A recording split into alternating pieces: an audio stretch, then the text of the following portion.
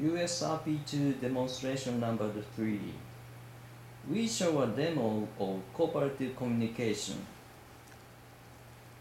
We use three sets of USRP2. GNU 1 is a source node. GNU 2 is the destination. GNU 3 is a cooperative node. GNU 3 overhears a packet being sent from GNU 1 to GNU 2. It also overhears an selective ACK from GNU 2 to GNU 1. Then GNU 3 retransmits packets requested by the NACK on behalf of GNU 1. This is a window of sending node.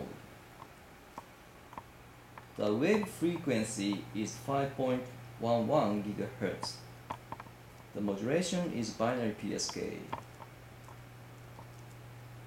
GNU 2 and GNU 3 have been set ready to receive.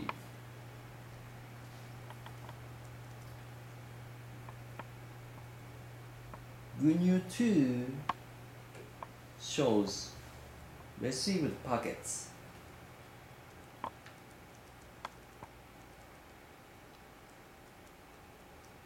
GNU 3 also shows received packets.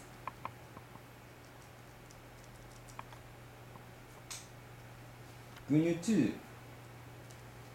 is listing up packets with errors.